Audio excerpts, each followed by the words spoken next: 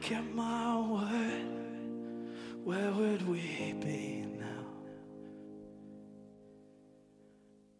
If I had kept my word, where would you be now?